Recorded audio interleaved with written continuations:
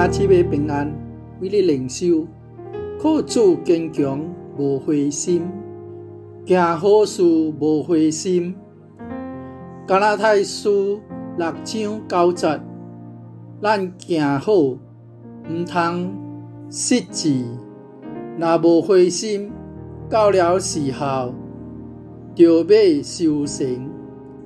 有一处寸草无生的山脚下，有一群小囡仔咧佚佗，看到一个老人背了一地的树泥树种子，手中拿着一支铁棍，老人用铁棍伫地上拍一个空，之后就将种子埋伫咧空内。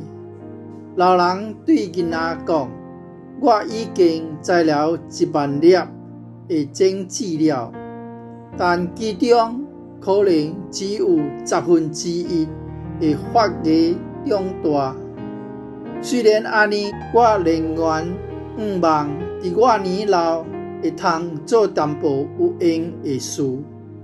二十年后，虽然囡仔长大成人，搁倒转来甲即个山骹，伫遮的光景，予伊大惊，因为老人会付出，予即个寸草无生的地，成为了树木满满，有鸟仔唱歌，有动物伫树林内佚佗。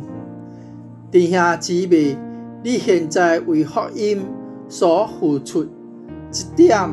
一滴的心血，日后拢会成为灿烂的花蕊。或者，你正为一寡效果无大的事项而心内忧愁，但要知影，主拢一一日咧纪念，并且绝无枉年，再接再厉吧。咱三甲来祈祷，亲爱的天父，阮是何等的软弱，阮做事有时一开始就灰心，或者拄着困难就放弃，有时阁未通坚持到底，导致办事不利，无有效果。求主怜悯阮。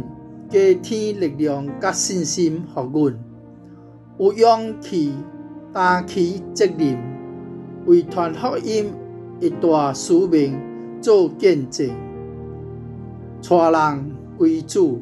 基督是奉主耶稣基督的名，阿门。